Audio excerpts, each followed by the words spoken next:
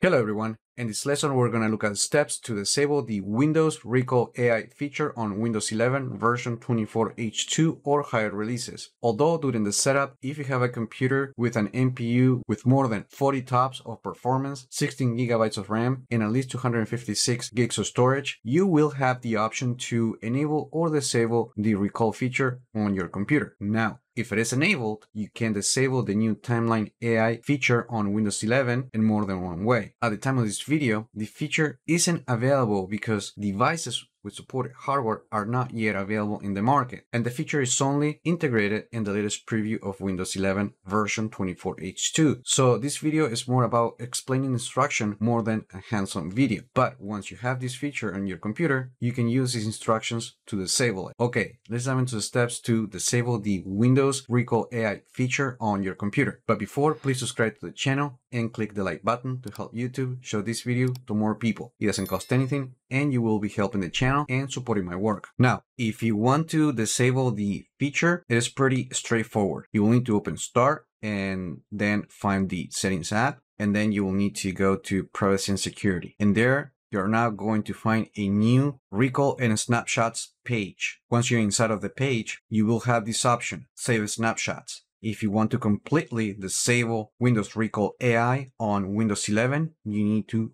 turn this off. Once you do that, the recall feature will be disabled and stop taking snapshots of every activity on your computer. Now, let's say that you only want to prevent the feature from tracking an activity that you're about to perform. Instead of disabling the feature completely, you can disable recall just temporarily. And to do that, you will have to click the recall button on the system tray as you can see right here. And then from the flyout menu you will have the option called pause until tomorrow. Once you click that button the feature will stop recording everything that you do in the computer. And then once you're ready you can click the button again to resume or the feature will re-enable automatically the next day now, if you're using Windows 11 Pro, Enterprise, or Education, you can disable the uh, Windows Recall AI feature using the group policy editor. However, remember that this option is not available on Windows 11 Home. And this is something that I can actually show you.